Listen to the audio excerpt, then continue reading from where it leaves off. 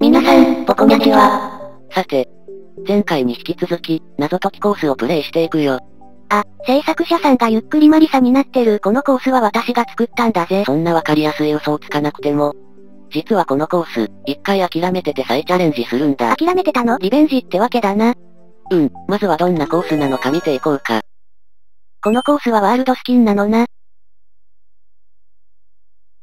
さてやっていこう。タイムは、500秒あるわね。慌てる心配はないってわけか。今のところ謎解き要素はないみたいだけど。この土管の奥だよ。ここから始まるってわけか。えっと、前も後ろも道がありそうだけど、上にも下にも行けそうなんだぜ。そう。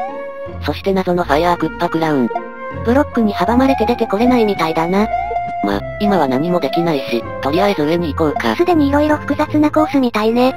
また道が分岐してるな。そして下にはキノコ。どうやって取るんだ？右には大量のパックン。これは通れそうにないな。とりあえず下のキノコは欲しいわね。取り方がわからんか。P スイッチとかがあるのかしら？そこも置いといて、上に行ってみるよ。あ、土管ねだが空中にあって入れないみたいだな。でブロックが出てきた。ちょちょ、出られなくなってるぞ。完全に積んだ。そんじゃ、左側を見てみよう。上の出っ張りのせいで渡りにくそうね。これぐらいならなんとか。そしてこっちは、あ、P スイッチのドアがあるな。ってことはどこかから持ってくるってわけね。うん。だが、今のところ行ける場所ってもうほとんど行ったんじゃないか？そう。マリサ大正解。この無手の状態で行ける場所はこれで全てだよ。マジで？そう。ちなみに右のパックンをスピンジャンプでは抜けられないよ。ってなわけで、秘密は最初のこのエリアにありました。ここです。でバーナーからネそう、ハテナブロックとバーナーが重なってたってわけだね。これはわからないって。さて、これでできることが増えたね。まずは上に行くのね。壁当てジャンプ必須か。さて、新しいエリアだな。上のレールは何かしら？ちょっと怪しいよな。そして右の方は、これまたブロックで進めなくなってるわね。ってことは P スイッチとかコーラとかが必要なのか？でもネットは使っちゃったし。で上からキノコが降ってきたそう。これが前にプレイした時にわからなくて積んだんだ。なるほど。確かにわからんな。時間が経てば降ってくるってわけね。一応レールがヒントになってたんだな。うん。さてここ。あれ、最初のエリアじゃない。最初と背景が同じだけど、実は違う場所にいるんだ。今度は左のバーナーを叩くと。こんな感じで、またメットが隠されてるよ。なるほど。これも騙されそうだな。さてと。今度はさっきと同じ場所だよ。さっきと違うのって。デカマリオの状態でここにいるってことだな。とりあえずネットでこのファイヤークッパクラウンを出してみよう。こいつは確か、チャージショットでブロックを壊せるんだよな。そう、右の氷ブロックもね。え。でもこれ、壁が邪魔で壊せないんじゃない？確かに。どうするんだ？ちょっと試してみましょ。うん、いいよ。でも、レイムの言った通り、いくら頑張ってもこれは壊せないよ。ちびマリオになっても？無理。ふーん。って、上にあるのってファイヤーフラワーだよな。ほんとだ。確かさっきはキノコじゃなかったかしら？うん、ほら、今はデカマリオだからアイテムもパワーアップしてるんだよ。ブロックを壊してファイヤーフラワーをゲットだね。あ、確かファイヤー状態でクラウンのチャージショットを打つと、3方向に飛ぶんじゃなかった？うん、それで氷ブロックも壊せるね。そしてこっちもいけるってわけか。そして、羽とフラワーがあるが、せっかくだから羽を取ろうかな。これも重要な選択肢になりそうだけど。大丈夫だよきっと。さて、って、ここに出てきたのか。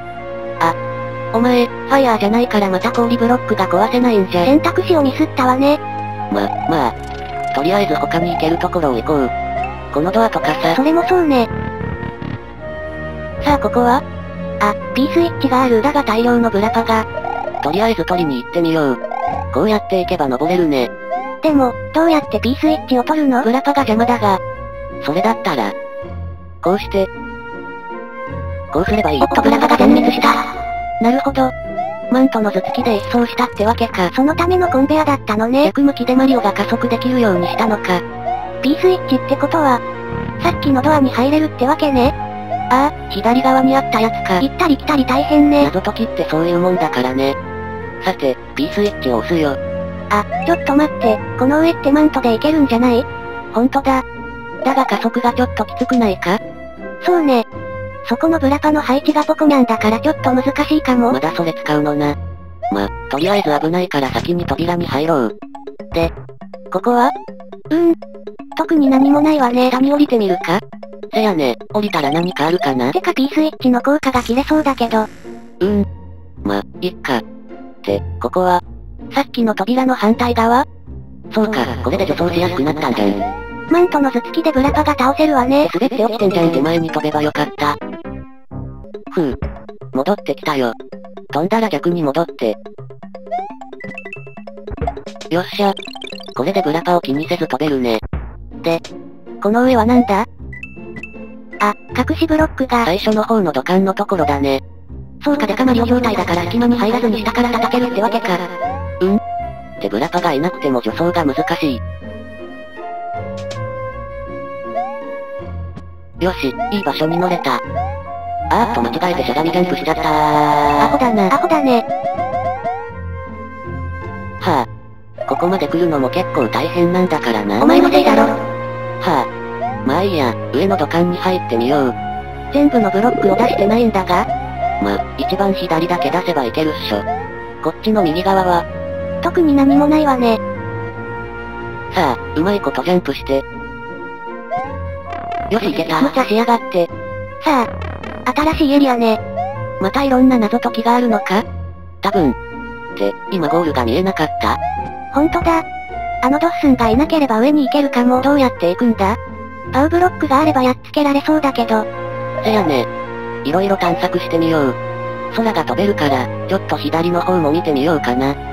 ここは、さっきの羽とフラワーの選択肢のところか。上側に来たのね。あれ？羽が待ってる。何かしら。マリオメーカーではストックはできないけど結構重要だったり。ちょそんなこと言ったら怖いじゃないか。何羽の寿命を伸ばしてるのよ。だってなんだかもったいなくて。いいじゃん、今マント状態なんだし。っていうか、右にパウブロックがあったわね。おおってことはさっきのドッスンをこれでやっつけられるんじゃね？そういえばそうか。よっしゃ、これをドッスンに当てれば、ゴールじゃない？うーん。だが、さっきのファイアクッパクラウンを使ってないし。そうね、それにまだ行ってなさそうな場所もたくさんありそうだし。まあまあ、ダメならダメでまた考えるからさ。さっきの場所まで戻ろう。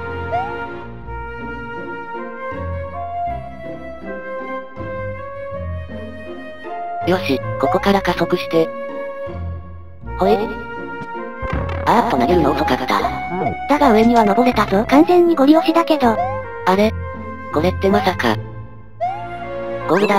なんでやー。